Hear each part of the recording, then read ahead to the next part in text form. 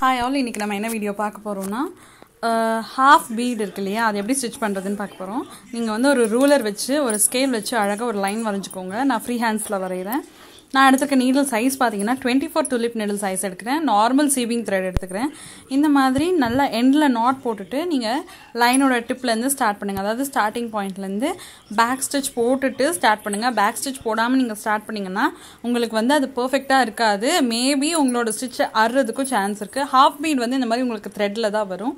So நீங்கள் இதை வந்து நீங்கள் த்ரெட் வச்சும் லோட் பண்ணிக்கலாம். அப்படி இல்லைன்னா நார்மலாக ஒரு ஒரு பீடோ நீங்கள் எடுத்து லோட் பண்ணிக்கலாம். நான் ஃபர்ஸ்ட் பேக் ஸ்டிச் போட்டுட்டு பீடோட ஃப்ளாட் பேஸை வந்து நான் வந்து துணியில் வந்து பதிகிற மாதிரி வச்சுட்டு ஒரு ஒரு பீடாக நான் லோட் பண்ண போகிறேன் நார்மல் பீட் நம்ம எப்படி லோட் பண்ணுவோம் அதே மாதிரி தான் இதில் நான் உங்களுக்கு டூ த்ரீ டெக்னிக்ஸ் சொல்லித்தரேன் பாருங்கள் பீடை எப்படி வந்து அழகாக அந்த ஃப்ளாட் பேஸில் ஈஸியாக உட்கார வைக்கிறதுன்ட்டு நார்மலாகவே நமக்கு வந்து இந்த ஃப்ளாட் பீட் வந்து ஃபிட் பண்ணும்போது நமக்கு சு- இருக்கும். ஸோ நீங்கள் என்ன பண்ணுறீங்கன்னா அது வந்து ஹோல்டிங் வந்து கரெக்டாக நீங்கள் பிடிச்சி கொஞ்சம் நூல் எக்ஸ்ட்ரா இழுத்து தள்ளினீங்கன்னா அது அழகாக உள்ளே போய் உட்காந்துக்கும் நீங்கள் அது வந்து திருப்புற அவசியம் இருக்காது. இப்போ பாருங்க நான் ஒரு ஃப்ளாட் பீட் எடுத்துட்டேன். எடுத்துட்டு அது அந்த மாதிரி பேஸில் கொஞ்சம் தூரத்தில் தள்ளி அதை த்ரெட்டு கீழே புல் பண்ணிங்கன்னா அது அழகாக போய் உங்களுக்கு உட்காந்துடும் நெக்ஸ்ட் த்ரெட்டுக்கு வந்து நீங்கள் எடுத்துக்கலாம். அதாவது நெக்ஸ்ட் பீடுக்கு நீங்கள் த்ரெட் அழகாக ஈஸியாக எடுத்துக்கலாம். இப்போ நான் ரெண்டு பீட் போடுறேன். ரெண்டு பீட் போடும்போது ஒரு பீட் பேக்கில் இருக்குது ஒரு பீட் ஃப்ரண்ட்டில் இருக்குது ஸோ சிங்கிள் சிங்கிள் பீடாக நீங்கள் லோட் பண்ணுங்கள் டபுள் பீட் லோட் பண்ணாதீங்க. ஏன்னா வந்து இது நகர்றதுக்கு நிறைய சான்சஸ் இருக்குது ஸோ நீங்கள் வந்து ஒரு ஒரு பீடாக நீங்கள் லோட் பண்ணி ஸ்டிச் பண்ணுங்கள் இப்போ பார்த்தீங்கன்னா பீடை வந்து இந்த மாதிரி கிட்ட போடும்போது நமக்கு திரும்பிடும். திரும்பினப்ப நீங்கள் என்ன பண்ணுறீங்கன்னா பீடோட ஃப்ளாட் சைடாக பிடிச்சும் நீங்கள் லோட் பண்ணலாம். அப்படி இல்லைன்னா பீடை வந்து கொஞ்சம் க்ராஸாக பிடிச்சும் நீங்கள் லோட் பண்ணலாம். நான் இதுலேயே இந்த வீடியோலேயே உங்களுக்கு காமிச்சிருப்பேன் பாருங்கள் பார்த்தீங்கன்னா அந்த பீடை வந்து கொஞ்சம் க்ராஸாக ஹோல்ட் பண்ணி நான் லோட் பண்ணுறேன் லோட் பண்ணுறது இது வந்து ஈஸியாக உட்காந்துரும் உங்களுக்கு. இந்த மாதிரி திரும்பினா கூட ஜஸ்ட் ஒரு ட்விஸ்ட் பண்ணிங்கன்னா அழகாக போய் உட்காந்துரும். ஒன்று க்ராஸாக பிடிச்சிக்கோங்க இல்லை ஃப்ளாட் சைட் பிடிச்சிக்கோங்க இது ஈஸியாக இருக்கும். பீட்லேருந்து இந்த மாதிரி நீடில் ஈஸியாக எடுத்துக்கலாம் நீங்கள் டூ த்ரீ பீட்ஸ் எடுத்து போட வந்து சிரமமாக இருந்ததுன்னா ஒன் ஒன் பீடாக எடுத்து நீங்கள் அழகாக பொறுமையாக லோட் பண்ணி உங்கள் ஸ்டிச்சை கம்ப்ளீட் பண்ணலாம்.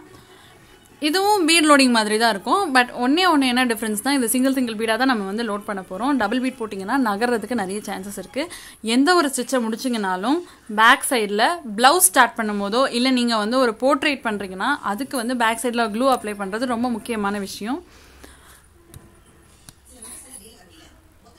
இப்போ பார்த்தீங்கன்னா நான் இந்த லைனை வந்து ஸ்ட்ரெயிட்டாக கம்ப்ளீட் பண்ணிட்டு வரேன். இதை பார்க்கறதுக்கே உங்களுக்கு வந்து ரொம்ப அழகாக தெரியும்.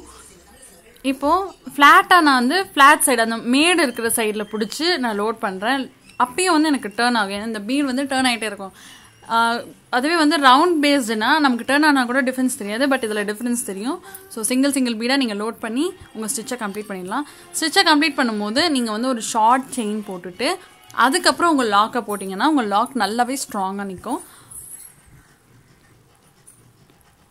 இப்போ பார்த்தீங்கன்னா இந்த லைனை நான் கம்ப்ளீட் பண்ணிட்டேன். இந்த லைனை கம்ப்ளீட் பண்ணிட்ட பிறகு இதுக்கு பக்கமாகவே ஒரு குட்டி லாக் போட போகிறேன் குட்டி லாக் போட்டுட்டு அதுக்கப்புறம் அதுலேருந்து ரெண்டு லாங் லூப் எடுத்து நம்ம நார்மலாக போடுற இன்வெசிபிள் லா இன்வெசிபிள் லாக்கை நான் போட்டு முடிச்சிட போகிறேன் ஸோ இதுதான் ஹாஃப் பீடை எப்படி லோட் பண்ணுறதுன்ட்டு இதே நீங்கள் ஷேப்ஸில் போடலாம். பாக்ஸு ட்ரையாங்கிள் இந்த மாதிரி ஷேப்ஸ் வரும்போது எப்படி நெக்ஸ்ட் வீடியோவில் நான் உங்களுக்கு இந்த மாதிரி ஷார்ப் பேஜஸில் எப்படி போடணுன்றதை நான் உங்களுக்கு டீச் பண்ணுறேன் ஸோ இதை ப்ராக்டிஸ் பண்ணிவிட்டு எனக்கு பிக்சர்ஸ் அனுப்புங்க. தேங்க்யூ